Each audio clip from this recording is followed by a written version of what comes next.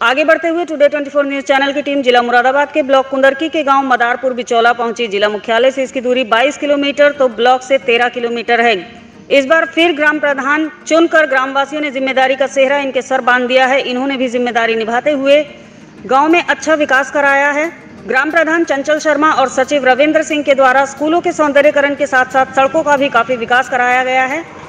साथ ही लॉकडाउन के चलते गाँव वालों की राशन व पैसे देकर भी काफ़ी मदद की गई है। चार वर्षों में इन्होंने किस तरह से गाँव को सजाया है और क्या समस्याएँ अभी बाकी हैं ये जानते हैं। ग्राम प्रधान पति की ज़ुबान। टुडे 24 न्यूज़ में आपका स्वागत है। इस समय हम मौजूद हैं ब्लॉक कुंडरकी के मदारपुर बिचौला ग्राम पंचायत में। यहाँ प्रधान द्वारा अब तक क्या क्या विकास कार्य किए गए हैं और किस तरह से लॉकडाउन में गरीबों की मदद की गई है, इसके बारे में पूरी जानकारी हम यहाँ प्रधान जी से लेकर आपको बताएँगे तो आइए बात करते हैं प्रधानपति से। न्यूज़ में आपका स्वागत है। जैसे कि यहाँ पर प्रधान आपकी पत्नी है जिनके कार्यकाल को चार साल लगभग पूरे बीत चुके हैं। क्या क्या विकास कार्य गाँव में अब तक करवा रही हैं? गाँव विकास कर रहे टाइल्स वगैरह नाली निर्माण है शौचालय बनवाए गए हैं प्रधानमंत्री आवास योजना बनवाए हैं। प्रधानमंत्री आवास योजना द्वारा आए थे निर्माण गया है। हो ग्राम पंचायत स्कूलों में सौंदर्यकरण कराया गया है और स्कूलों में शौचालय बनवाए गए हैं सीसी टाइल्स वगैरह प्रबंध सेवक निर्माण टंकी वगैरह किया गया है। स्ट्रीट लाइट सोलर लाइट हाँ हाँ? ये भी करवाई गई तो केंद्र सरकार की जो योजनाएँ चलती हैं जैसे भी जैसे गरीबों के लिए उज्ज्वला कनेक्शन बिजली कनेक्शन या किसानों के लिए जो सम्मान निधि का पैसा आ रहा है तो आपके गाँव में सभी को इनका लाभ मिलता है?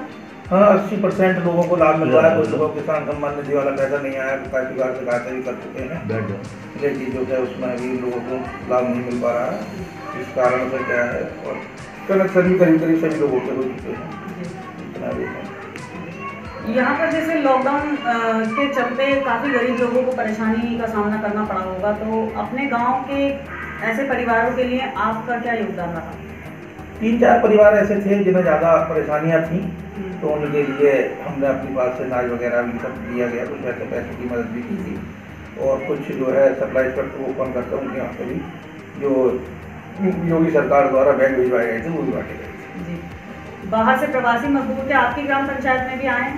हाँ उनके सबके लिए क्वारंटाइन का नोटिस भी लगाया गया था और फिर उन्हें यहाँ पर जो है मनरेगा के तहत कार्य किया गया है। नहीं। अब अपने गाँव को सुंदर और विकसित करने के लिए क्या प्रमुख मांग सरकार से रखना चाहेंगे आप? मैंने तीन चार मांगे रखी थी वो भी पूरी नहीं हो पाई।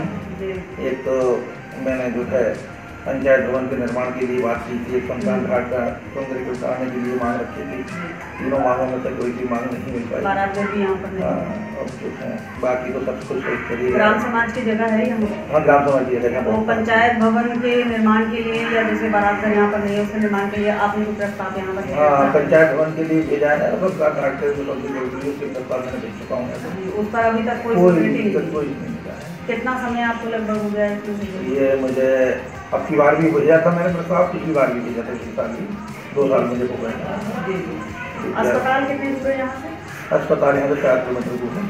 डींगरपुर में।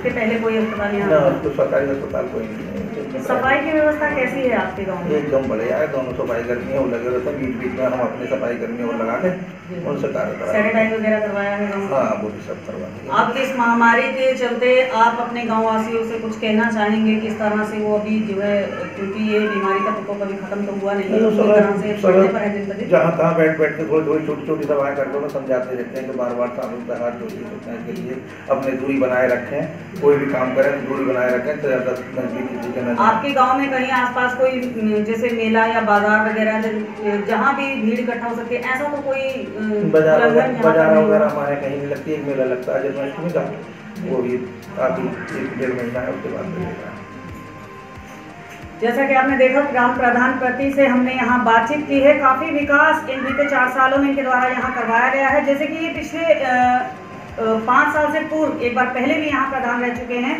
उस समय में भी काफ़ी विकास यहाँ पर इनके द्वारा करवाया गया है। जैसे सीसी टाइल्स कार्य, सड़क निर्माण, नाले निर्माण आवास भी कुछ लोगों को यहाँ मिले हैं। शौचालय से गाँव पूरी तरह से ओडीएफ हो चुका है।